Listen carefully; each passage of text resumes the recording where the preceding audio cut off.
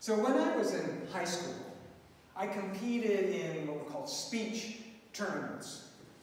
I really actually wanted to be a star baseball player, but I only could see out of one eye, and so that didn't take me very far. I also tried track and field, but I was just a hair too slow to make those final heats. But in speech, speech tournaments, I could win. Actually, I acquired several trophies and came in fourth in the state of Colorado my junior year.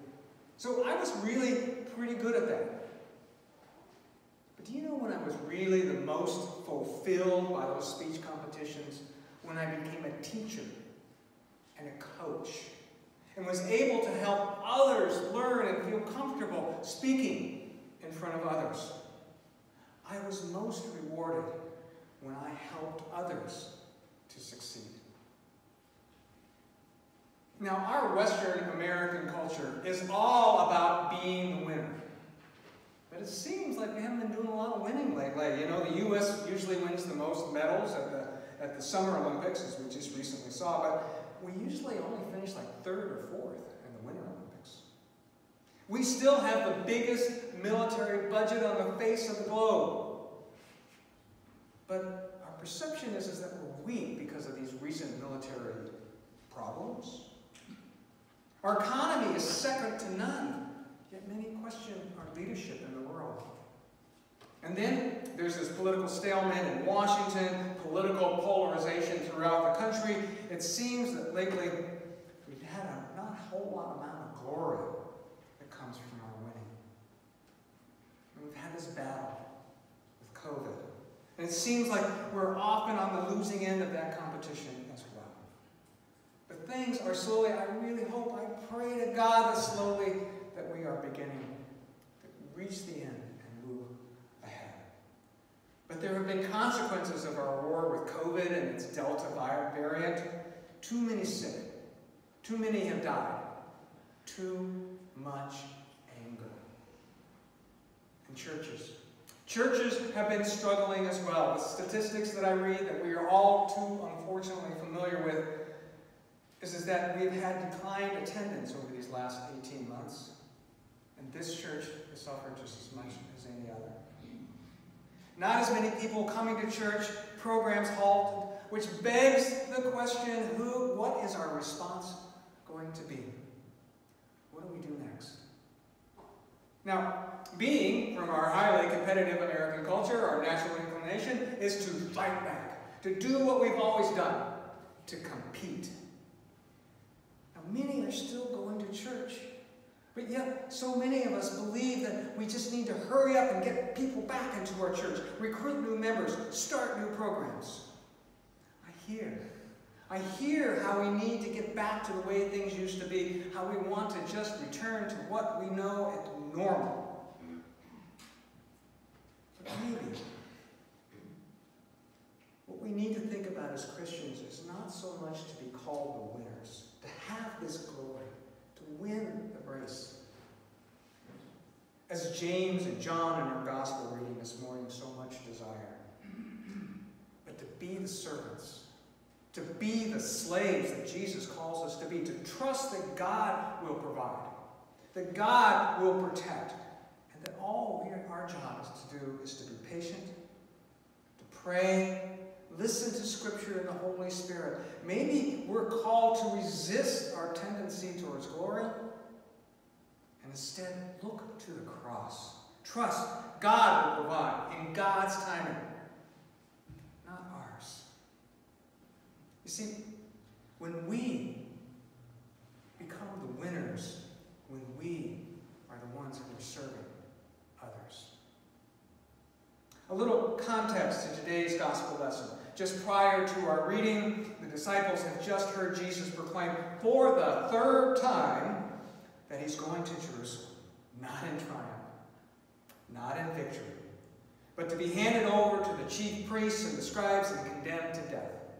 In graphic detail, Jesus tells his disciples that he will then be handed over to the Romans, who will mock him, spit on him, flog him, and kill him. And after three days, rise from the grave. And it's right after Jesus says these gut wrenching words that the disciples James and John ask what is really a pretty vain, if not stupid, question. They ask Jesus, Hey, can we sit with you, like right on the right and then left, and sit with you in his glory? Can't really fault James and John because, you know, as Americans, we would probably respond the same. See, our culture's instinct is to conquer, to win, to be the best. It is what our culture, our values, our parents have trained us to be. We celebrate the winners, those with power and status, not those who submit to be the servants. We need to listen to those words of Jesus, who patiently reminds the disciples and all of us that his mission is not to seek glory, but to serve. Not to be the best, the winner, the one who leaves all the others in the dust. Quite the opposite. Jesus, the Son of God's mission on earth, is to humbly welcome all into the kingdom of God. Jesus calls us to be the servant. Jesus calls us to be servant, and Jesus modeled this call by his own suffering death on the cross. Jesus gave his life for us. Our scripture readings this morning say that Jesus gave his life as ransom for many. Now, the Greek for ransom is litron. And litron is referred to whenever a slave's freedom is purchased. You see, God's gift to us is that Jesus died on the cross to free us, not for glory, but to be servants. And our good news is, is that we are saved, and yet we do not owe God anything. Our salvation is the gift from God through the power of the cross. We are free to choose to go against our human need for glory. We are free to choose not to be the winner, but instead choose to be the humble servant who freely submits to God. We become the winners when we serve others. I'm reminded of a story of a journalist who many years ago traveled to India to do a story about Mother Teresa and her work amongst the desperately poor leprosy-infected people of Calcutta, India. So this journalist is looking all over for the hospital trying to find Mother Teresa and finds her in the leprosy ward. And she's sitting at the bedside of this young man. Now, the smell in that ward was just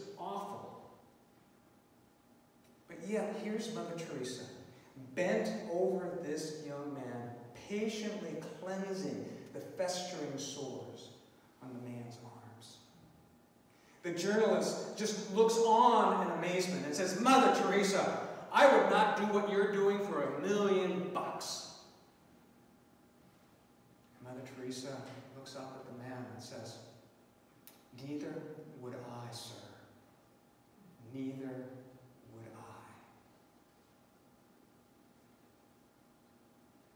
We come to the foot of the cross not for payment or to sit in glory or to be the winners, but because at the foot of the cross is where we are closest to our humble Savior, Jesus Christ. I know. Lord knows, I know how hard it is for just to sit in this church and, and to see the empty spaces around us. I'm so thankful for each and every one of you that are here today, for our guests that are among us.